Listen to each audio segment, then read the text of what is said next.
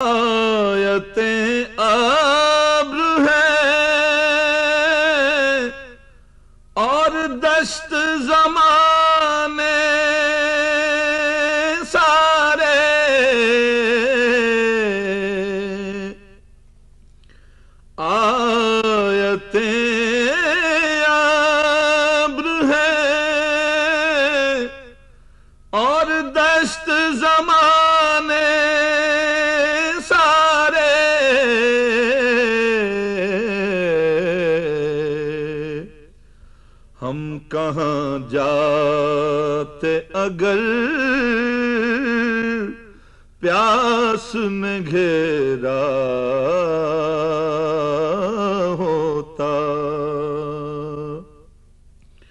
ہم کہاں جاتے اگر پیاس میں گھیرا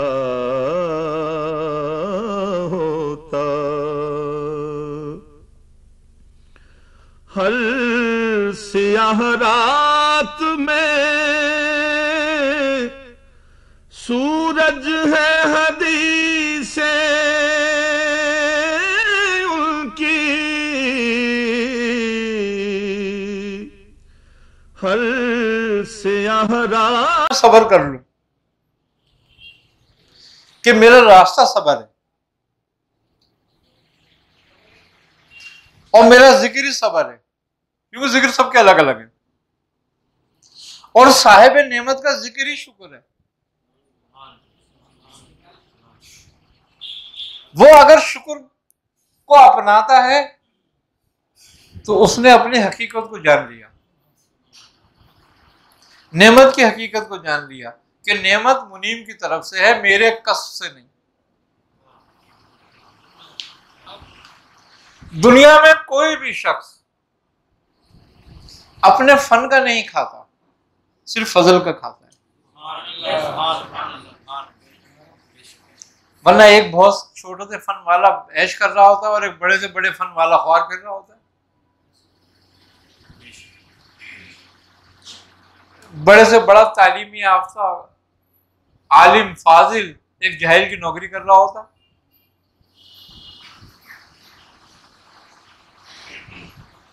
اس کا مطلب کیا ہوتا ہے کہ ایک اپنے فضل پر ہے رب کے اور ایک اپنے عمل پر ہے۔ کامیاب فضل والا ہوتا ہے، فن والا نہیں۔ تو جب ہم یہ حقیقتیں سمجھنے لگتے ہیں نا، اور ہمارے کو یہ حقیقتیں آشکار ہوتی ہیں تو ہماری زندگی آسان ہو جاتی اور ہمارا رجوع حقیقت ہمارے رب کی طرف ہو جاتا ہے۔ جو اصل مقصد ہے، وہ کہتا ہے کہ میں نے پیدا کیا انسان اور جنات کو، مگر اپنی عبادت کے لیے۔ لیا آپ دوں مگر اہل سلوک اس کو کہتے ہیں لیا عارفون نہ کہ پوجنے والا، بلکہ جاننے والا۔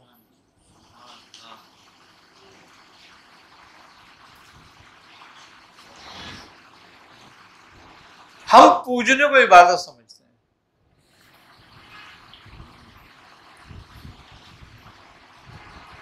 اور وہ جاننے کو عبادت کہتا ہے۔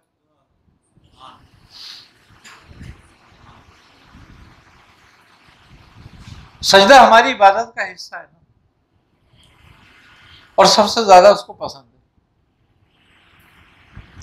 کیونکہ سجدہ صرف اس کو روا ہے جو کسی سے پیدا نہیں ہوا۔ اور پیدا ہوئے والے کو سجدہ حرام ہے۔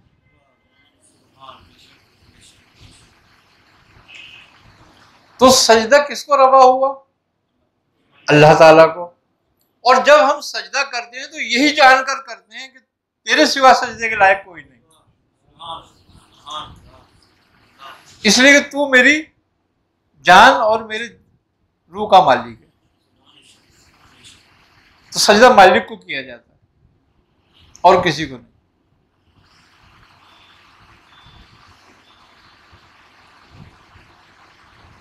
آپ نے جو بتایا تھا نعمت ایک بندے کو ملی بھی ہوتی ہے اور ایک بندے کے پاس فکر و فاقہ ہوتا ہے۔ تو یہ ایک حدیث بھی ہے کہ تمہیں فکر و فاقہ تنگستی جو ہے کفر کی طرف نہیں دے گا اس حوالے سے جو جس کو نعمت ملی بھی ہے، وہ اور جس کو نہیں ملی، دونوں کے پیمانے ایک ہیں۔ وہ حدیثی تو بتا رہی ہے کہ صبر سے رہی ہو۔ کفر کے کیوں لے کے جائے گی؟ جب صبر نہیں کرے گا۔ جب شکایت کرے گا تو کفر کی طرف جائے گا۔ اور جو صبر کرے گا۔ بتواس و بالحق بتواس و بالصبر۔ کہ جو حق کے ساتھ رہتا ہے، تو اس کو صبر کے ساتھ رہنا ہے۔ اب دونوں کی کیونکہ آزمائش ایک جیسی ہے، بلکہ وہ زیادہ آزمائش میں جس میں مال زیادہ ہے۔ اور وہ کم آزمائش میں ہے جس کے پاس مال نہیں۔ جس کے پاس مال نہیں ہے، اس کے پاس تو ایک ہی راستہ ہے، وہ ہے شکایت کرنے کا، جو اس کو کفر تک لے جائے گا۔ ٹھیک ہے، لیکن اگر وہ اس میں صبر کر لیتا ہے، تو بچ گیا۔ اور کامیاب ہو گیا۔ نبی کریم صلی اللہ علیہ وسلم کا ارشاد مبارک ہے، آپ نے فرمایا کہ جب میں معراج پہ گیا تو میں نے جنت میں سب سے زیادہ تعداد غریبوں کی دیکھی۔ مزے کی بڑی بات ہے، ایک یہ ہے کہ اللہ شاکر کے ساتھ نہیں ہے، صابر کے ساتھ ہے۔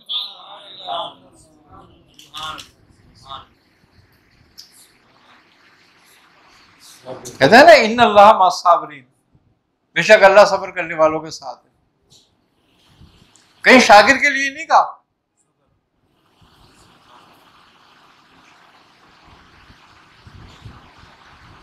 شاکر جس کے پاس نعمت ہے، وہ تو بہت زیادہ مصیبت میں ہے۔ وہ پل سراغ پر ہے۔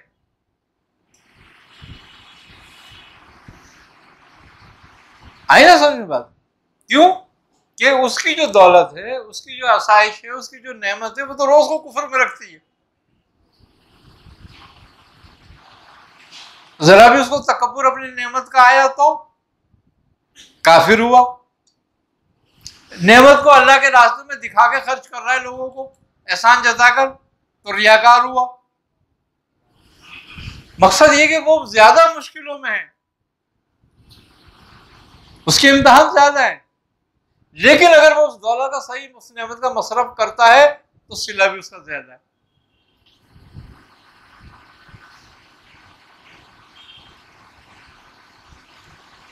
تو تمہیں قرآن نے دونوں راستے بتائے کہ تو مفلس ہے تو تیرا راستہ کیا ہے؟ اور تو اگر غنی ہے تو تیرا راستہ کیا ہے؟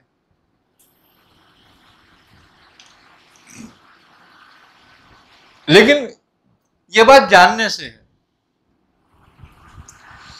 جب رب نے کائنات بنائی تھی، اس نے یہ نہیں کہا تھا کہ میں پوجا جاؤں۔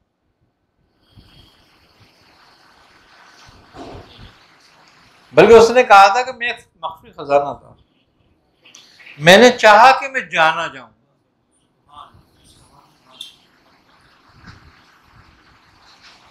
تو جب تک تم اس کے فیل کی حقیقت کو نہیں جانو گے، جب تک اس کو کیسے جانو گے؟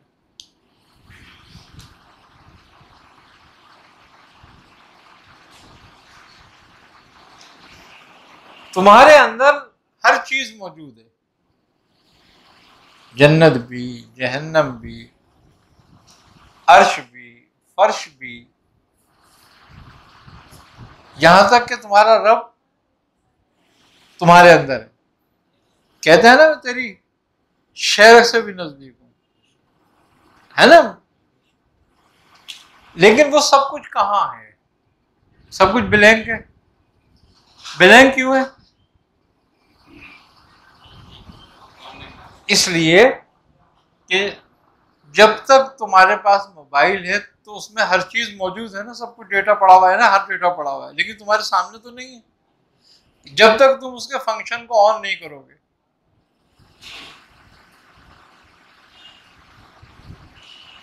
ورنہ وہ بیکار ہے، بلینک پڑا ہوا ہے۔ ہے اس میں سب کچھ؟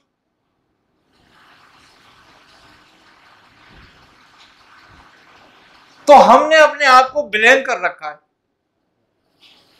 تو جب بلینک کر رکھا ہے تو کیسے پتا چلے اندر کیا ہے؟ جو جو موبائل کا فنکشن تم کھولتے چلے جاتے ہو، وہ چیز تمہارے سامنے آتی جاتی ہے۔ اس کی معلومات ہوتی جاتی ہے۔ تو تم نے اپنا فنکشن کب کھولا؟ نہ آن کیا۔ جب آن نہیں کیا، تو بلینک ہے اب اس کو آن ہونے کے لیے اس میں کرنٹ چاہیے. بیٹری چاہیے. اور بیٹری بھی چارج ہو.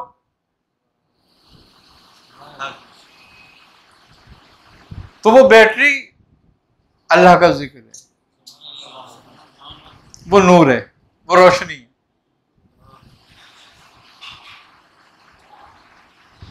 انہیں انبیاء پہلی بھائی آئی تو کیا فرمایا؟ اقرا اس میں رب کر لیتی پڑھیے۔ اپنے رب کے نام کے ساتھ۔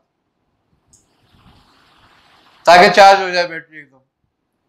اور سارے فنکشن باہر آ جائے۔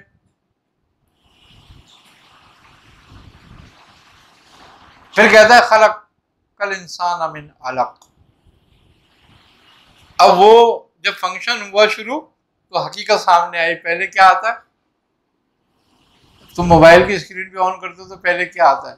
جو کچھ تم نے لگایا ہوا ہوتا ہے سامنے۔ وال پیپر سے جو بھی کچھ ہو تمہارے آگے، وہ سامنے آ جائے گا۔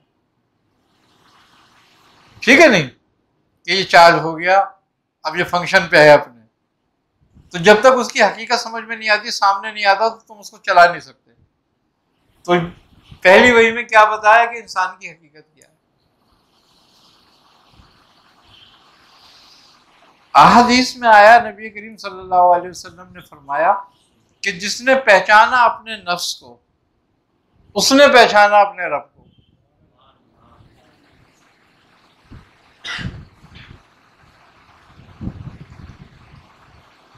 یعنی کہ انسان اگر پاک ہوا یا پاک ہے، یا پاک ہونا چاہتا ہے، یا پاک ہوتا ہے، تو صرف اپنے رب کے نام سے ہوتا ہے اس کے ذکر سے ہوتا ہے۔ پانی سے نہیں ہوتا، ہوا سے نہیں ہوتا، مٹی سے نہیں ہوتا۔ ان پر حکم آیا تو پاک ہوا ان سے۔ لیکن کافر پہ اس پر حکم نہیں آیا۔ کافر کو کیا یہ ناپاک رہے گا۔ دیکھو پانی سے کیا وہ پاک ہو جاتا ہے؟ نہ وہ پانی سے پاک ہوتا ہے، غسل بھی روز کرتا ہے، نہ وہ مٹی سے پاک ہوتا ہے، کسی چیز سے وہ پاک نہیں ہو پاتا۔ کیوں؟ تو اس کے لیے پاک ہونے کا حکم نہیں آیا۔ اس نے رب کا نام نہیں لیا۔ اس کی پاکیزگی مشروط ہے۔ کہ جب تک وہ نام نہیں لے گا رب کا اور اس پر ایمان نہیں لائے گا، تو اس کا باطن پاک نہیں ہوگا۔ جب باطن پاک نہیں ہوگا، تو ظاہر پاک نہیں ہوگا۔ اب اس کی دو مثالیں ہیں۔ ایک وہ جو ظاہری ہے، ایک وہ جو باطنی ہے۔ ظاہری میں کافر بھی پاک نہیں ہوتا، ٹھیک ہے نہیں؟ اور باطن میں مسلمان بھی پاک نہیں ہوتا۔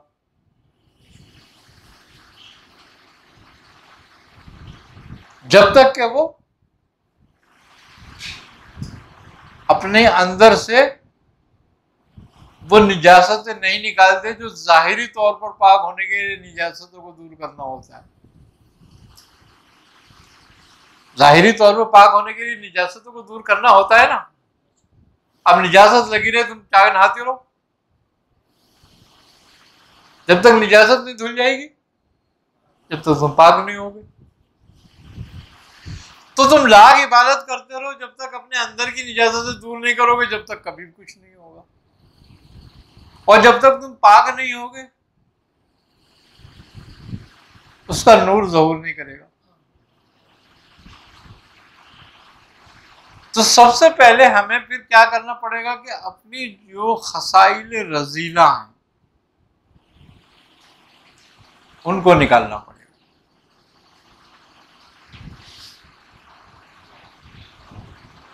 اب خسائل رضیلا میں کیا چیزیں ہیں؟ وہ تمام باتیں جو غیبت ہے، جھوٹ ہے، برائی ہے، تکبر ہے، ریاکاری ہے، اور ساری برائیوں میں جھوٹ کے بعد سب سے بڑی برائی ریاکاری ہے۔ یہ ایک ایسی خطرناک برائی ہے، ایسی خطرناک برائی ہے کہ جو بظاہر کوئی برائی نہیں ہے۔ جسے ظاہر ایک انسان ہے، وہ کہتا ہے، میں مسلمان ہوں، مگر مجھے تو اپنا جواب دینا ہے، تو کون ہے مجھے سمجھانے والا؟ یہ گمراہی ہے۔ اور بڑی خطرناک گمراہی ہے۔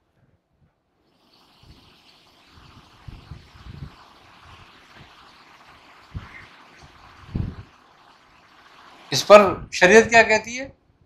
کہ اگر تم میں طاقت ہے تو طاقت سے روکو اس کو پھر۔ ہے نا؟ اور اگر روکنے کی جب تم طاقت نہیں رکھتے اپنے اندر تو زبان سے اس کو روکو۔ اور زبان سے نہیں روکتے تو دل سے روکو، اس کو دل میں برا جانا۔ یہ سب سے کم تارے درجہ۔ ہے نا؟ یہ ہے ریا کاری کا حال۔ ہے کہ ریا کاری جو ہے وہ گناہوں میں سب سے بڑا گناہ ہے۔ کیوں؟ یہ شرک ہے۔ یہ شرک خفی ہے۔ یہ وہ پوشیدہ شرک ہے جو ہمیں نظر نہیں آتا۔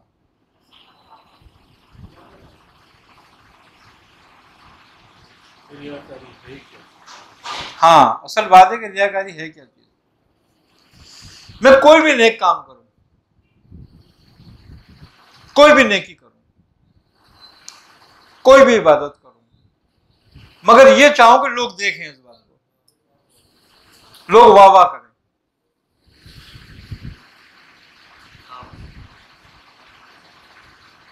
یہ ریا کاری بظاہر میں کوئی غلط کام تو نہیں کر رہا۔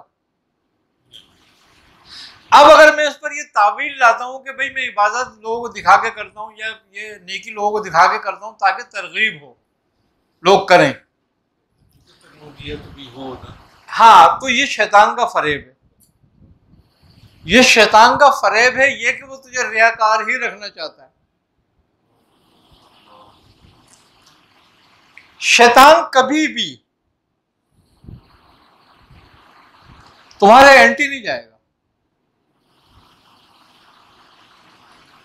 اگر تم عبادت گزار ہو، تو تمہیں عبادت سے کبھی نہیں روکے گا۔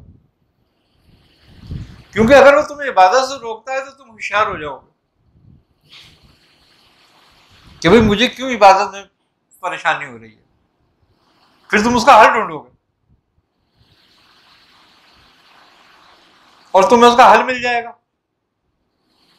تو تم شیطان کے اندر کیسے نکل گئے؟ تو پھر وہ اینٹی نہیں ہوگا تمہارے کسی بھی کام میں۔ اس کی یہ خصوصیت ہے، وہ اس بات کو سمجھتا ہے۔ ہاں کیونکہ وہ حقیقت الافعال کو جانتا ہے نا۔ تو وہ اس لیے اینٹی نہیں ہوتا۔ وہ کیسا عبادت کر۔ آج تم نے دس نمازیں پڑھی ہیں، بس خالی دس پڑھی وہ تو فلاں تو جو ہے، وہ تو تجھ سے زیادہ پڑھتا ہے چار رکعتیں۔ تم نے کہا ہاں یہ بات تو صحیح ہے، میں تمہارے دل میں خیال ہے، کل سے چودہ کروں گا۔ پھر بیس کرائے گا، پھر پچاس کرائے گا۔ پھر یہ کہے گا، بتا تیرے جیسا کوئی عبادت کرنے والا یہاں ہے؟ تو پچاس رکھاتے پڑتا ہے، کوئی تو پانچ بھی نہیں پڑھتا۔ اب جو پانچ بھی نہیں پڑھتا تمہارے دل میں آٹومیٹکلی اس کے لیے برائی آئے گی کہ وہ نیچا ہے میں اونچا ہوں یہاں سے تکبر شروع ہو گیا۔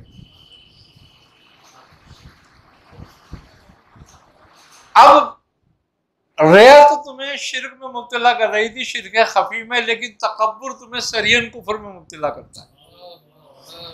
وہ کہتا ہے قرآن میں اب ابا ابا وسطبر و کان امین الکافرین اور اس نے تکبر کیا سو ہم نے اس کو کافر کیا۔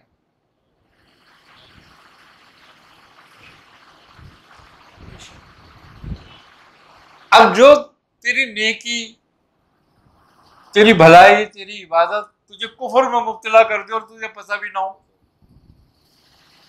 تو وہ ساری کی ساری نیکی اور ساری کی ساری عبادت ساہون ہو گئی۔ پر سب سے مشکل چیز ہے کہ دوسرا کوئی دیکھتا بھی نہیں ہے اس کو۔ اس کو کوئی دیکھتا بھی نہیں ہے۔ اسی لیے کہا کہ خدا کے راستے میں وسیلہ تلاش کرو۔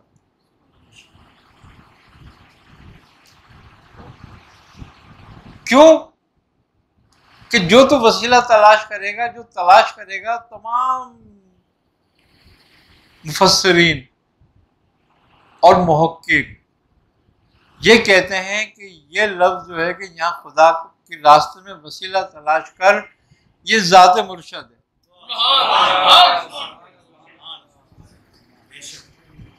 کہ جب تو وسیلہ تلاش کر لیتا ہے تو وہ تیری عبادت کا نگران ہو جاتا ہے۔ ہاں وہ دیکھتا ہے کہ یہ کہاں جا رہا ہے۔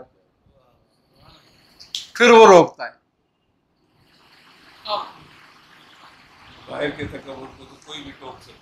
اندر والے تکبر۔ اندر والے کو تو ایک ہی پکڑتا ہے۔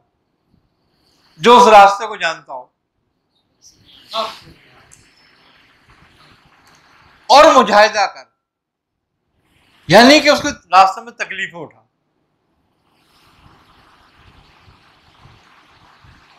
اپنی عزیز چیزوں کی قربانیاں دے۔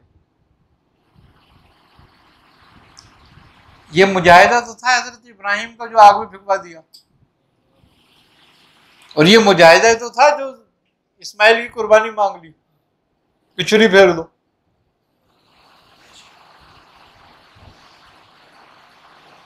اور یہ مجاہدہ ہی تھا جو طائف میں پتھر برسے تھے۔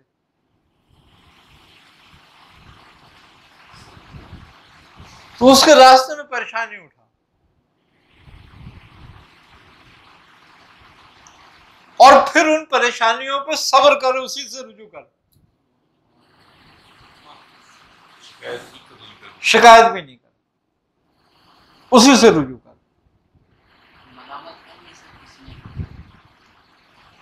ملامت اسی مجاہدے کا ایک حصہ ہے۔ اور وہ یہ ہے کہ اہل ملامات کا گروہ جو ہے وہ حضرت باعث مستعمی کے بعد بنا۔ حضرت باعث مستعمی رحمۃ اللہ علیہ نے جب دیدار الہی ہوا ان کو، تو انہوں نے فرمایا کہ اے میرے رب، مجھے تو بتا کہ میں کس طرح سے تیرے سامنے آؤں کہ تو خوش ہو اس حالت سے میری۔ یعنی کون سا طریقہ اختیار کروں یا کس طرح آؤں کہ وہ تجھ سے خوش ہو؟ تو فرمایا کہ اے باعزید تو اس طرح ہمارے سامنے آئے کہ لوگ تجھے ذلیل کر رہے ہوں، پھر ہمارے سامنے آئے۔ تو ہم خوش ہوں تجھ سے اور اس پہ تو صبر کرے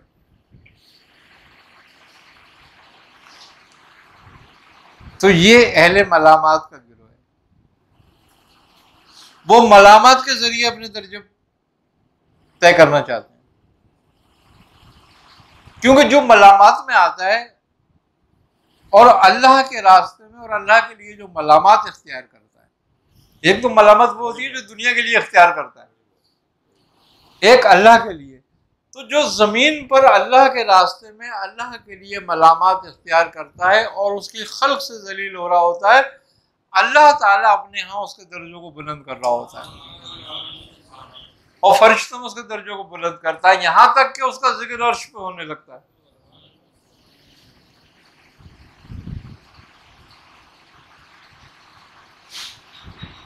اور اس کا نام عرش پہ لکھا جاتا ہے۔ وہ موزم اور محترم ہوتا ہے۔ اللہ اس کو عزت کا تاج پہناتا ہے۔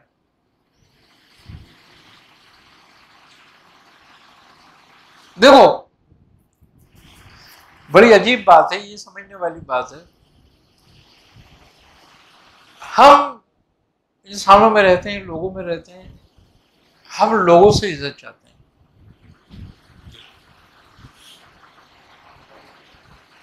اور لوگ ہمیں عزت دیتے ہیں ہمارے نیک کاموں سے۔ ہم نے سو ہزار نیک کام کیے ہوتے ہیں، لوگ ہمیں عزت دینے لگتے ہیں۔ لیکن اگر ہم ایک برا کام کر بیٹھے، ساری عزت برابر کر دیتے ہیں، یہ ساری تمہاری۔ سب پہ پانی پھیر دیتے ہیں۔ لیکن مزے کی بات یہ ہے کہ قدرت وہ ہے کہ تو سو برائیاں کرتا ہے، جب ایک نیکی کرتا ہے وہ سب کو معاف کر دیتا ہے اس نیکی کو سامنے رکھ لیتا ہے، قبول کر لیتا ہے۔ تیری اور پھر وہ جب عزت دیتا ہے، تو اس کو کوئی بے عزت نہیں کر پاتا۔ وہ دائمی ہوتی ہے۔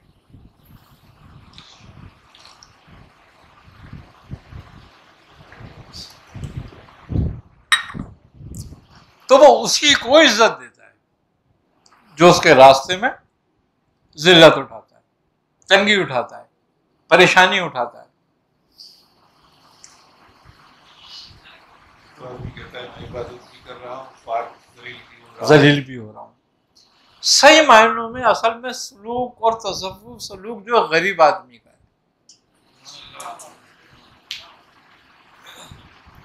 اس کا ہے جو بے یار و مددگار ہے۔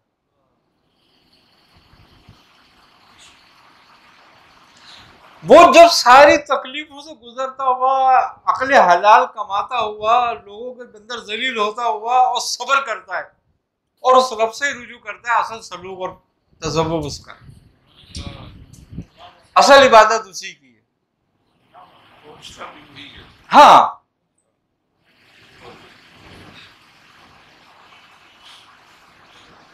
بادشاہ بن کے عبادت کرنا کسی کے لیے نہیں ہے۔ اس کا کوئی فائدہ نہیں ہے کسی کو۔ کیونکہ بادشاہت کی عبادت ریا میں ہی مبتلا کرتی ہے۔ اور غریب کی عبادت را- اللہ کے لیے ہوتی ہے۔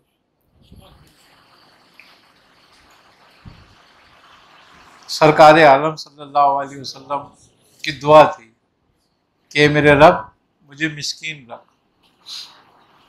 اور مسکینوں میں اٹھائیو۔ مسکین کون لوگ ہیں؟ مسکین وہی لوگ ہیں جنہوں نے اپنے رب کے لیے سب کچھ چھوڑا ہو۔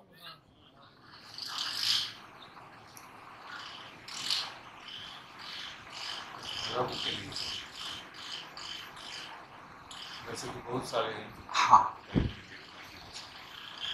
مسکین اصل وہ لوگ ہیں جنہوں نے دنیا کو اپنے رب کی وجہ سے چھوڑا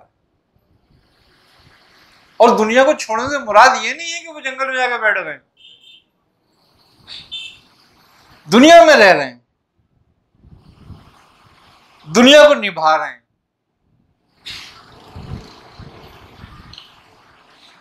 مگر نہ دنیا سے خوفزدہ ہیں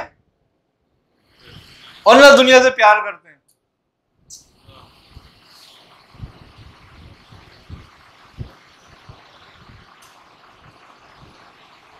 اللہ تعالیٰ کہتا ہے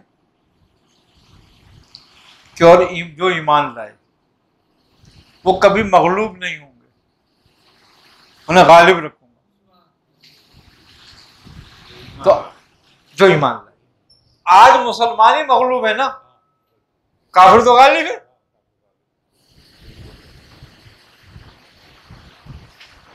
تو اس کا مطلب کیا ہوا؟ کہ ایمان نہیں لائے مسلمان تو ہو گئے، مگر ایمان نہیں لائے۔ ایمان لانا تو یہی ہے نا کہ خدا کی ذات کو، اس کی حقیقت کو پہچاننا۔ اس کے رسول کو پہچاننا، حقیقت الافعال کو پہچاننا، اپنے آپ کو پہچاننا۔ تقلیدی مسلمان ہو گئے نا کہ باپ مسلمان تھا۔ اس کے گھر پیدا ہوا اور نے مسلمانوں والا نام رکھ دیا۔ تو میں کہہ رہا ہوں کہ میں مسلمان ہوں۔ ابھی نہ میں ایمان لایا اور نہ میں نے ایمان کے لیے کوئی تکلیف اٹھائی نہ خدا کے راستے میں کوئی پریشانی اٹھائی؟ اور اگر کوئی میرے کو اپنی حرکتوں سے پریشانی آ بھی گئی، تو میں نے خدا پہ ڈال دی۔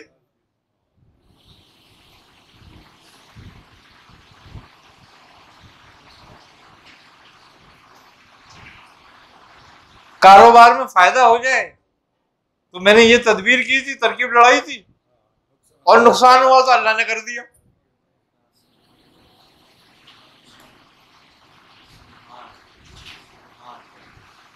تو جب ہم یہاں آ جاتے ہیں نا کہ ہماری تدبیر سے فائدہ ہوتا ہے؟ اور خدا کی طرف سے نقصان ہوتا ہے؟ تو ہم میں نائنٹی پرسینٹ لوگوں کا یہی خیال ہے۔ الحمد للہ ختم ہو گیا۔ بس۔ الحمد للہ نہیں رہا۔ تو جب نائنٹی پرسینٹ لوگوں کا یہ خیال ہے تو صرف مسلمان نام لینا تو اسلام نہیں ہوا۔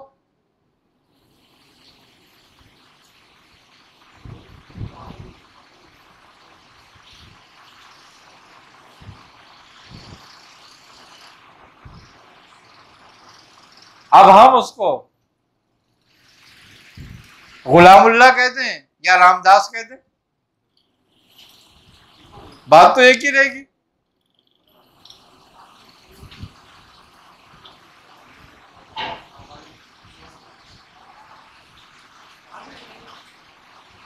بدلنا تو اندر سے ہے۔ دیکھو، مرغی کا انڈا بھی ہے نا۔ جب اندر سے ٹوٹتا ہے تو زندگی پیدا ہوتی ہے۔ اور جب باہر سے ٹوٹتا ہے تو موت ہوتی ہے۔ تو اس انڈے کو اندر سے توڑ۔ تاکہ دائمی زندگی ہو۔ موت کس کو نہیں آنی؟ مگر اس کو نہیں آنی جو مرنے سے پہلے مر جائے۔ موت آئے گی اس کو ایک دفعہ موت آئے گی اور وہ موت کیا ہوگا؟ وہ موت یہ ہوگا کہ وہ ایک پل ہوتا ہے جو حبیب سے حبیب کو ملاتا ہے۔ وہ وہ پل ہوتا ہے، وہ حجاب ہٹایا جاتا ہے درمیان سے ایک بس، جس کو وہ موت کہہ دیتا ہے۔ جو آخری حجاب اٹھتا ہے، تو اس کو ہم موت کہہ دیتے ہیں۔ اس کے لیے۔ ہمارے لیے نہیں، ہمارے لیے تو موت ہی ہے۔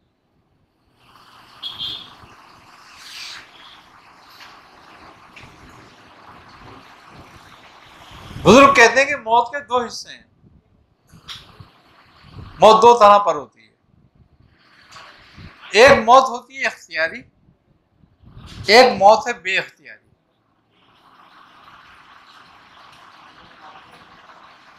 بے اختیاری موت عارضی ہے۔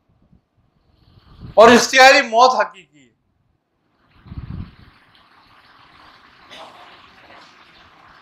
اور جو اختیاری موت مرتا ہے،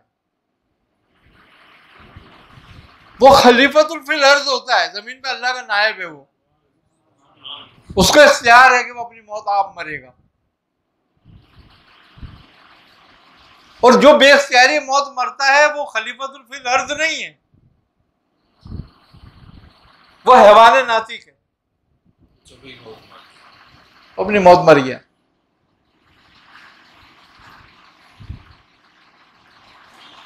جب خواجہ محدود چشتی رحمۃ اللہ علیہ کا وصال ہوا، تو آپ کی پیشانی میں سب خط نور سے لکھا ہوا تھا کہ اللہ کا دوست، اللہ کی محبت میں مارا گیا۔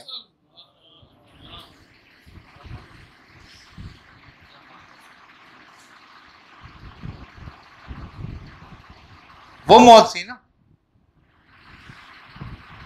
اسی موت کے لیے آدمی پیدا ہوتا ہے۔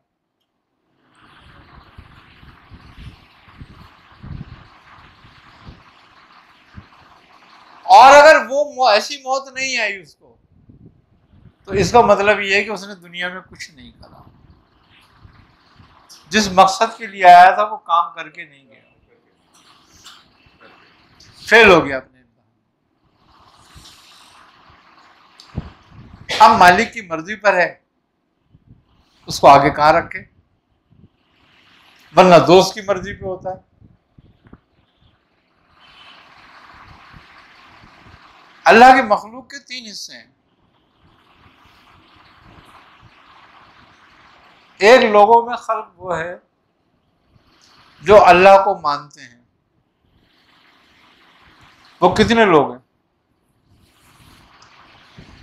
تقریباً ساری خلق کی ہے جو اللہ کو مانتی ہے۔ کافر ہوں یا مومن ہوں یا مسلمان ہوں کسی نہ کسی صورت۔ کسی نہ کسی صورت واسطہ بلا واسطہ۔ سب مانتے ہیں۔ ٹھیک ہے؟ ایک حصہ ہے یہ۔ ایک حصہ یہ ہے کہ جو اللہ کی مانتا ہے۔ اب وہ کتنے؟ وہ کم۔ ہے اب یہاں فرق ہو گیا، کافر اور مومن کا۔ مومن ہی ہے نا، مسلمان ہی ہے نا، جو اللہ کی مانتا ہے۔ ورنہ اللہ کو تو سبھی مانتے ہیں۔ تیسرا حصہ وہ ہے جن کی اللہ مانتا ہے۔ وہ وہ لوگ ہیں۔ کہ جو اللہ کی محبت میں مارے جاتے ہیں۔ تو اصل سرمایہ کون ہے؟ وہ لوگ ہیں کائنات کا وہ اپنا حق ادا کر کے جا رہے ہیں اب ایک یہ الگ بات ہے کہ ہر آدمی معین الدین تو نہیں بن سکتا ہے مومن تو بن سکتا ہے وہ مومن تو بن سکتا ہے اس راستے کا طالب تو ہو سکتا ہے اور مزے کی بات یہ ہے کہ طالب علم جو دین کی طلب میں نکلے، جو اللہ کے راستے میں نکلے اور اس کو موت آ جائے، وہ شہید ہے۔ وہ اللہ کی محبت میں مارا گیا۔ ہے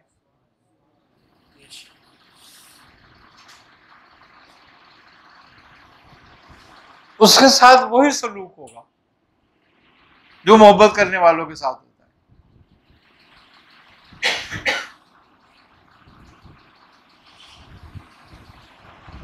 اس کی محبت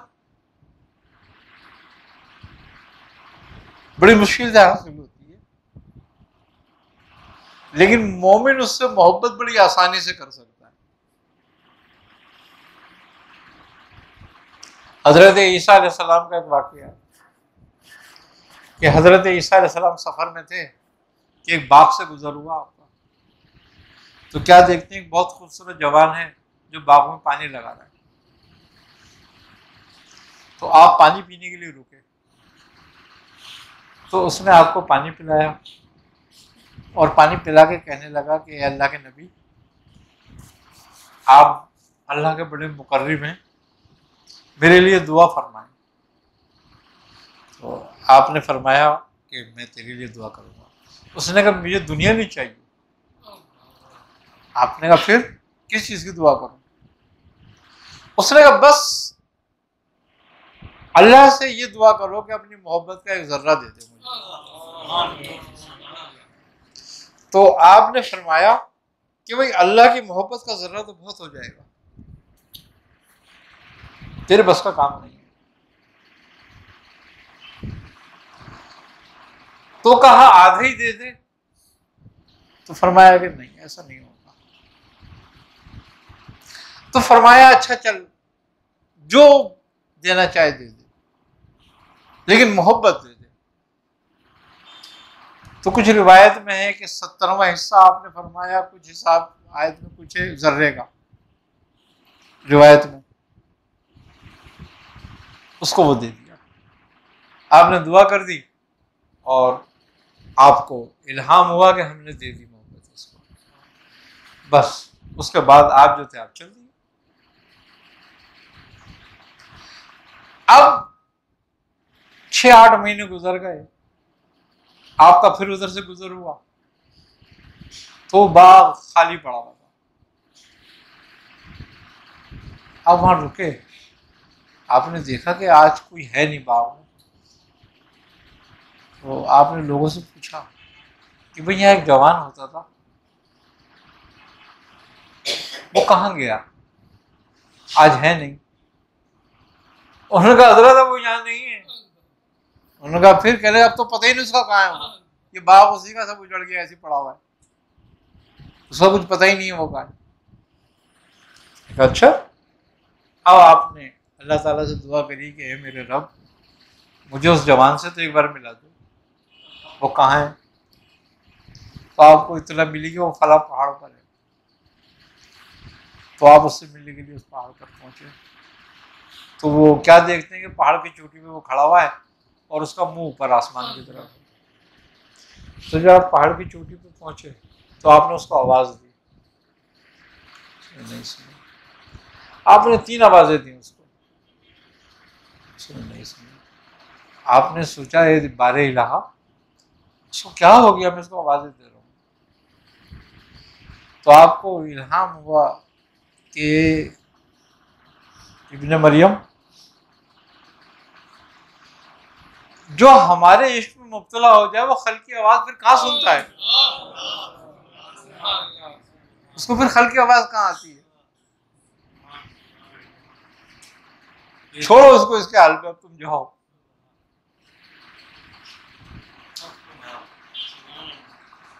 جس کو اس کی محبت ملتی ہے، اس کا یہ حال ہو جاتا لیکن انسان کے لیے اس سے محبت کرنا لازم ہے۔ سب محبت کرنے والوں کو محبت نہیں مل جاتی۔ لیکن سب محبت کرنے والوں کو رب کا نام مل جاتا ہے۔ مزے کی بات یہ ہے کہ ایک شناخت ہوتی ہے کہ ایک دعوت اسلامی کا آدمی ہو، انہیں نے ہری پگڑی لگائی ہوئی ہو، آپ فوراً کیا کہو گے؟ یہ دعوت اسلامی کا ہے ایک کالی پگڑی لگا کے کھڑا ہو، آپ کہو گے پائنچے اوپر کر کے کہ یہ دیوبندی ہے۔ شناخت ہو جاتی ہے نا کچھ چیزوں کی۔ تو جو اللہ کا دوست ہو جاتا ہے، اللہ کا نام اس کی شناخت ہو جاتا ہے۔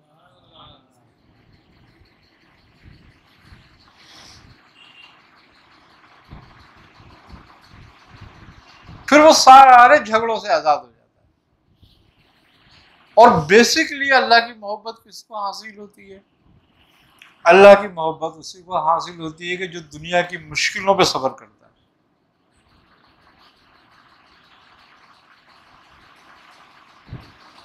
دنیا کی پریشانیوں پہ صبر کرتا ہے۔ دنیا کے فاقوں پہ صبر کرتا ہے۔ بزرگ فرماتے ہیں کہ جب اللہ تجھ سے کوئی چیز لینا چاہتا ہے، لیتا ہے، تو اس سے کوئی ضرورت نہیں تجھ سے کچھ لینے کی۔ لیکن وہ تجھ سے لیتا اس لیے کہ تجھے آزمائش میں ڈالے۔ اور جب تجھے وہ آزمائش میں ڈالے تو پھر وہ دیکھتا ہے کہ صبر کرتا ہے یا شکر کرتا ہے؟ یا شکایت کرتا ہے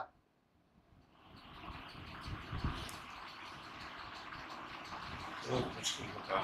ہاں جب بندہ صبر کرتا ہے اور اس سے راضی ہوتا ہے اس کے لینے پر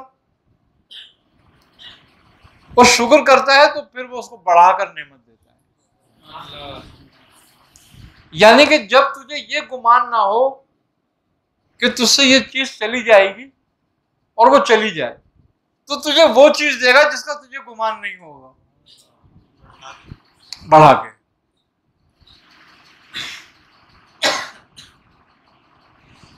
ورنہ ہم صبر نیکی میں تفریق کیسے کریں گے؟ نعمت کا چھننا ہی تو بتاتا ہے کہ نعمت تھی۔ دھوپ ہے تو سائے کا پتہ سائے کا پتہ چلتا ہے۔ نہیں تو پتہ ہی نہیں چلے گا۔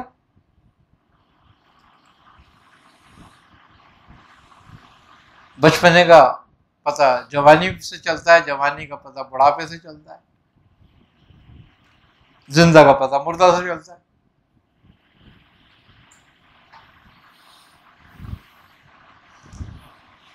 تو ہر چیز اپنی ضد سے پہچانی گئی۔ اور جب یہی مقام ہے مقام رضا کیا ہے؟ مقام رضا کچھ بھی نہیں ہے۔ صرف حقیقت افعال کو پہچاننے کا نام ہے۔ تکلیف اسی نے دی ہے اور اللہ کی طرف سے آزمائش اللہ کی طرف سے آئی ہے۔ اور صبر بھی وہی دے گا۔ لیکن نیت تو صبر کی کر لے۔ اور جب تو صبر کی نیت کرتا ہے اور اس پہ شکر کرتا ہے تو پھر نعمت بڑھ جاتی ہے۔ اچھا میں میں مسن میں وہ مقام کیا ہے؟ رب انی مسنی الرحیم۔ اللہ تعالیٰ سے حضرت یعقوب، ایوب علیہ السلام نے دعا کی کہ اے میرے رب، میں بہت تکلیف میں ہوں اور تو رحم کرنے والوں میں سب سے زیادہ رحم کرنے والا ہے۔ یہاں رفا کی دعا نہیں ہے کہ اس کو رفا کر دے۔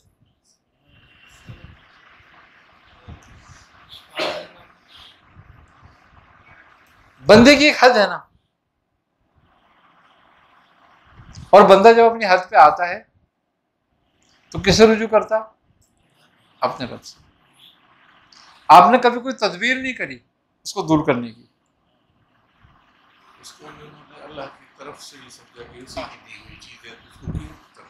ٹھیک ہے نا؟ کبھی بھی کوئی تدبیر نہیں کری آپ نے اس کی۔ اب دعا کرنا تو بندے کا حق ہے نا۔ بندہ کسی طرف رجوع کرے گا۔ رب کی طرف۔ حضرت یونس علیہ السلام کیا فرماتے ہیں؟ یہ نہیں کہا مجھے نکال دیں یہاں سے۔ بلکہ یہ فرمایا کہ نہیں کوئی معبود سوائے تیرے اور تو پاک ہے۔ اور بے شک میں قصوروار ہوں۔ ہاں یہ نہیں کہا نے یہ بھی نہیں کہا کہ مجھے نکال دے۔ یہاں سے۔ میں نے قصور کیا تو مجھے یہاں سے نکال۔ بلکہ میں قصوروار ہوں۔ کیا بات ہے؟ کہ بیماری ایک نعمت، آزمائش، ہر آزمائش ایک نعمت ہے اور زحمت ہے۔ اگر صبر کیا اور رب سے رجوع کیا تو وہ نعمت ہو گئی۔ اور اگر شکوہ کیا اور تدبیر کری تو وہ زحمت ہو گئی۔ انبیاء نے کیا کرا؟ صبر کرا اور رجوع کرا رب سے۔ جب آپ نے فرمایا کہ تو رحم کرنے والوں میں سب سے زیادہ رحم کرنے والا ہے، تو رحمت جوش میں آ گئی۔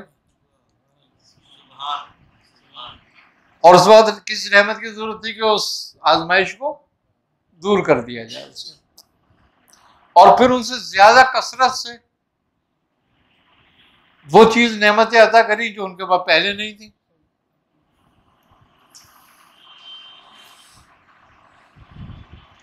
تو بات صرف یہ ہے،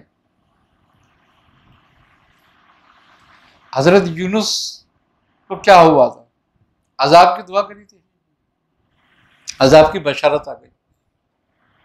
عذاب کی علامتیں شروع ہو گئیں اور آپ وہاں سے چل دیے۔ اب جب آپ وہاں سے نکل گئے تو قوم نے جب دیکھی عذاب کی علامتیں، وہ سارے کے سارے اجتماعی طور پر جو ہے نا آپ کو ڈھونڈنے نکل گئے اور انہوں نے توبہ کرنا شروع کر دی۔ اب جب توبہ کرنا شروع کر دی، تو آپ ایک پہاڑی پر چڑھے ہوئے تھے۔ وہ عذاب ٹل گیا۔ جب وہ عذاب ٹل گیا، تو ایک شخص آپ سے ملا۔ اسی کو طرف سے آتا ہوا۔ آپ نے اس سے پوچھا کہ وہاں پر کیا ہوا؟ اس نے کہا کہ، اے اللہ کے بندے، وہ نہیں پہچانتا تھا آپ کو کہ آپ یونس ہیں۔ اے اللہ کے بندے، میں اس وادی سے آ رہا ہوں۔ وہاں بڑا سخت عذاب کی علامتیں ظاہر ہوئی تھی لیکن اب ٹل گیا، اب کچھ نہیں ہوا، عذاب نہیں آیا وہاں پر۔ تو آپ جو تھے، یہ سوچنے لگے کہ اب میں اگر قوم کی طرف جاتا ہوں، تو قوم تو مجھ سے ثبوت مانگے گی۔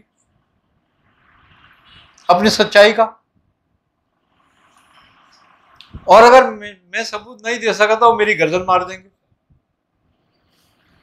تو آپ پہاڑی سے اترے اور سمندر کی طرف چل دیے۔ کہ کوئی اور راستہ اختیار کروں کہیں اور چلا جاؤں وہاں سے وہ آپ کشتی میں بیٹھ گئے اب جب سب کشتی جا رہی تھی آس پاس سے نکل رہی تھی آپ کی کشتی ڈولنے لگی تو جب ڈولنے لگی تو لوگوں نے اس سے پوچھا ملح سے کہ بھائی یہ کیا ہو رہا ہے کشتی کو کیا ہو گیا کشتی کو اس نے کہا بھائی میں نے تو اپنے بوڑھوں سے سنا ہے بزرگوں سے کہ اگر کشتی میں کوئی غلام بھاگا ہوا بیٹھ جائے اپنے آقا سے۔ تو وہ کشتی ڈوبتی ہے۔ تو انہوں نے کہا، دیکھو کون ہے؟ تو آپ کھڑے ہوئے، آپ نے فرمایا کہ میں ہوں۔ وہ غلام جو اپنے آقا سے بھاگا ہے۔ مجھے پانی میں پھینک دو۔ تو جب آپ کو دیکھا لوگوں نے، تو آپ کا چہرے مبارک اتنا پرنور تھا۔ لوگوں نے کہا، ایسا کیسے ہو سکتا ہے؟ کہ آپ ایسے ہوں؟ آپ سے تو نہیں لگتا کہیں بھی۔ انہوں نے کہا، نہیں میں ہی ہوں۔ تو انہوں نے کہا، نہیں کوڑا ڈالو۔ تو جب کوڑا ڈالا گیا تو آپ کا نام آیا۔ کوڑے میں۔ تو جب آپ کا نام آیا تو دو تین لوگ کھڑے ہو گئے، انہوں نے کہا، نہیں، یہ نہیں، ہم چلے جاتے ہیں ان کی جگہ۔ ہمیں ڈال دو۔ انہوں نے کہا، نہیں نہیں، ایسا کیسے ہو سکتا ہے؟ جس کا نام آیا وہی تو جائے گا۔ انہوں نے کہا، نہیں، پھر کوڑا ڈالو۔ پھر کوڑا ڈالا گیا، پھر آپ کا نام نکل آیا۔ یعنی کہ تین دفعہ کوڑا کیا، تینوں دفعہ آپ کا نام نکلا لہذا آپ کو سمجھنے میں ضرورت تھی اس بات کی۔ اللہ نے دکھانا تھا۔ تو ایک مچھلی کو حکم ہوا کہ جاؤ اور یونس کو اپنے پیٹ میں رکھ لو، منہ میں لے لو۔ اس مچھلی نے کہا کہ اے میرے رب، میں اس امانت کی حقدار نہیں ہو سکتی۔ میں تیرے اس بندے کو اپنے پیٹ میں رکھ سکتی ہوں۔ یہ میری مجال نہیں ہے۔ اور نہ ہی میں یہ کر سکوں گی مجھے تو معاف فرما دے اس بات سے۔ کسی اور سے بول۔ تو اللہ تعالیٰ نے ایک اور مچھلی کو حکم دیا کہ جاؤ تم لے لو۔ تو وہ مچھلی جو تھی، ہم نے آن کے آپ کو اپنے منہ میں لے لیا۔ اللہ تبارک و تعالیٰ نے فرمایا، مچھلی کو کہ دیکھ، یہ میری امانت ہے، میرا پیارا بندہ ہے۔ یہ اپنا منہ کھول کے رکھنا، اس کو تکلیف نہ ہو۔ منہ بند کر لیتی، تو ہضم ہو جاتا۔ انہوں نے منہ کھول کے رکھا آپ سے۔ چالیس دن آپ کو وہاں رکھا۔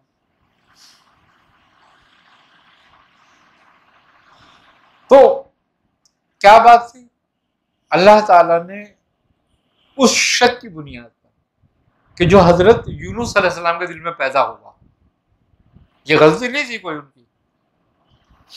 ایک شک تھا جو دل میں پیدا ہوا بس وسا اس بس وسے کے لیے، اس شک کے لیے آپ کو کتنے دن وہاں رکھا؟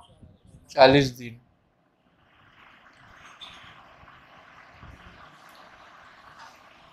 اللہ جس کے گناہ پہ جس کو نہ پکڑے، تو اس کا مطلب یہ ہے کہ وہ اللہ سے دور ہے۔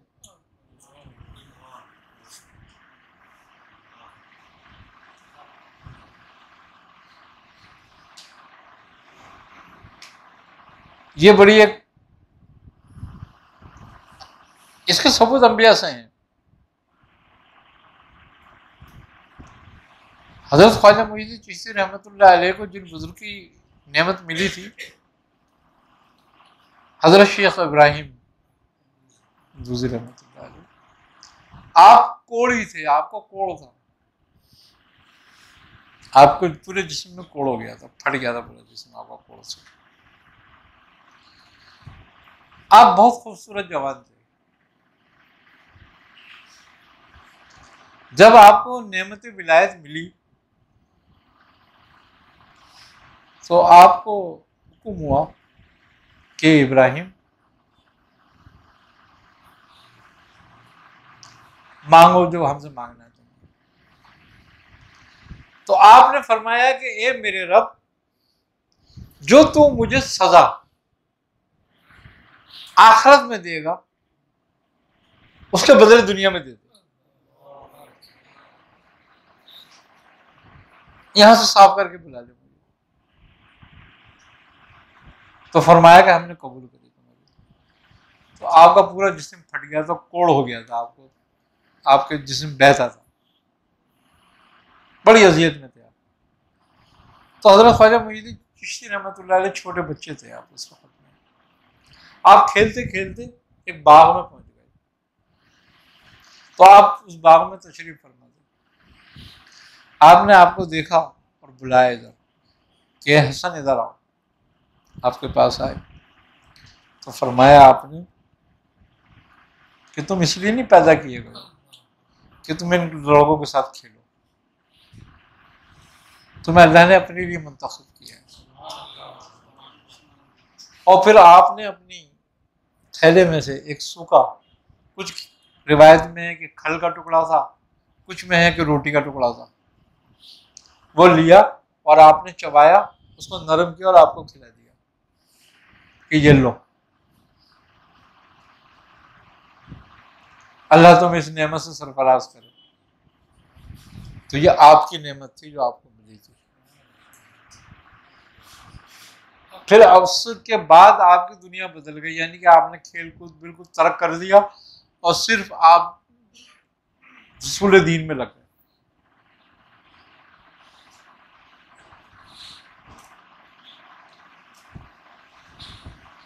تو بات یہ ہے کہ ہم بھاگتے ہیں دنیاوی مشکلات سے۔ دنیا کی جو مشکلیں ہیں جو دنیا کی جو پریشانیاں ہیں، وہ ہماری غربت کی شکل میں ہوں، وہ ہماری بیماریوں کی شکل میں ہوں، وہ ہمارے بچوں کی شکل میں ہوں، کسی بھی معاملے میں ہوں۔ اس کو ہم سے دور کرنے والا کوئی نہیں ہے۔ سوائے رب کے۔ تو ہم اسی سے رجوع نہ کریں۔ اور اس پہ صبر کریں۔ کہ آزمائش ہوتی ہے۔ اس میں اگر صبر کریں، تو اللہ اس کا اجر دیتا ہے۔ وہ ٹائم جتنا تمہاری پریشانی کا ہے۔ اور تم اس میں صبر کے ساتھ پریشانی سے گزر رہے ہو۔ تو وہ ٹائم تمہارا عبادت کا ہے۔ تمہاری نیکیوں کا ہے۔ اس میں تمہارا گناہ نہیں لکھا جا رہا۔ بلکہ گناہ مٹائے جا رہے ہیں۔ اور نیکیاں لکھی جا رہی ہیں۔ رب ہمیں پریشانی میں کب ڈالتا ہے؟ جب ہمارے گناہ اتنے ہو جائیں کہ ہم پہ عذاب آیا جائے۔ تو پھر وہ ہم پہ عذاب نہیں لاتا، بلکہ امتحان میں ڈالتا ہے۔ تاکہ پھر ہم توبت اللہ کریں، تائب ہوں، اس سے رجوع کریں، تو وہ اس پریشانی کو کم کر دے اور ہمارے پچھلے گناہوں کو معاف کر دے۔ جب ہماری سمجھ میں یہ بات آ جاتی ہے، تو پھر تمہارے گناہ بھی نیکیوں میں تبدیل ہونے لگتے ہیں۔ نہیں تو تمہاری نیکیاں بھی گناہ بن جاتی ہیں۔ اگر تمہیں یہ خیال نہ ہو تو۔ کیونکہ ہر ریا کاری کی نیکی گناہ میں چلی جاتی گناہ میں چلی جاتی ہے۔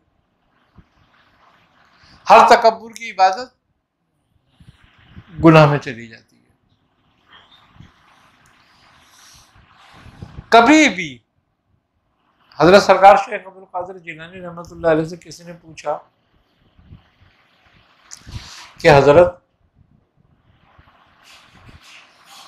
ولی کو ہم کیسے پہچانے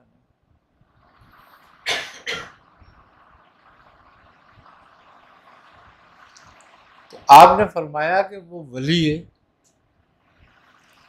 جس کو دنیا بے عیب نظر آئے۔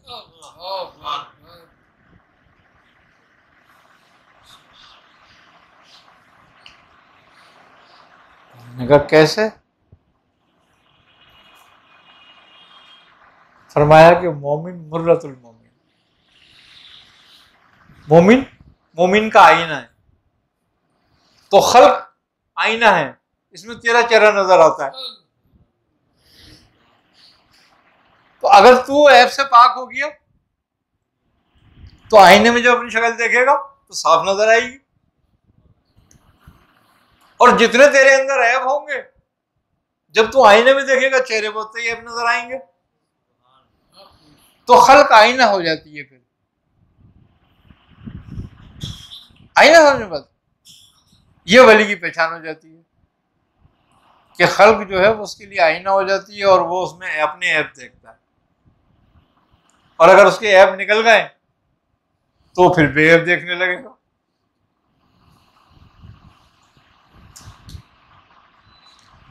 مزے کی بات یہ ہے کہ ہم سارا وقت لوگوں کے ایپ گننے اور دیکھنے میں گزارتے ہیں بنسبت اس کا کہ اپنے ایپ اپنے میں سے نکالیں۔ جتنا ٹائم ہم لوگوں کے ایپ دیکھتے ہیں اور گنتے ہیں اور ان کو کافر اور مومن کرتے رہتے ہیں بیٹھے ہوئے۔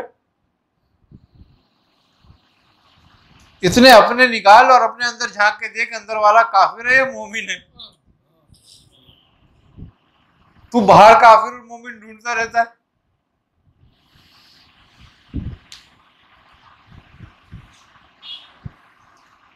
یعنی کہ تو خدا ہی ہو جاتا ہے اور تو خدا کا رسول ہو جاتا ہے خود ہی۔ کہ جو کام تیری مرضی کا نہیں ہوا، تو اس پہ بگڑ بیٹھتا ہے۔ ہر کام اپنی مرضی کا چاہتا ہے۔ تو ہر کام تو خدا کی مرضی سے ہوتا ہے بندے کی مرضی سے تو نہیں ہوتا۔ تو تو کوشش تو خدا بننے کی کر رہا ہوتا ہے نا۔ اب نہیں بن پاتا وہ ایک الگ بات ہے۔ ہاں اور تو ہر کام میں رسول بننے کی کوشش کرتا ہے کہ جو تیرا حکم نہ مانے وہی کافر۔ وہی برا۔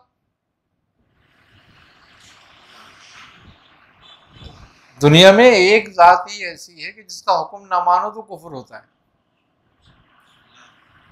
وہ اللہ کے رسول کی ذات ہے کہ اگر ان کا حکم ماننے سے انکار کرے تو کافر ہو جائے گا تو۔ لیکن یہ ہر آدمی یہی کہتا ہے کہ جس نے میرا حکم نہیں مانا یہ کافر ہے۔ سیاہ رات میں سورج ہے حدیث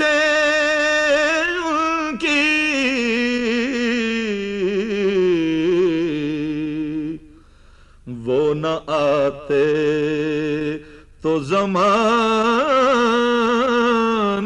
میں اندھیرا ہوتا وہ نہ آتے تو زمانے میں اندھیرا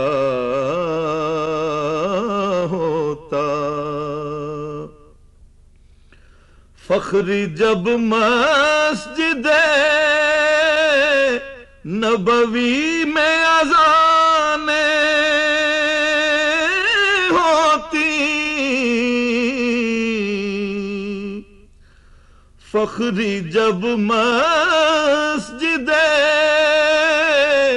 نبوی میں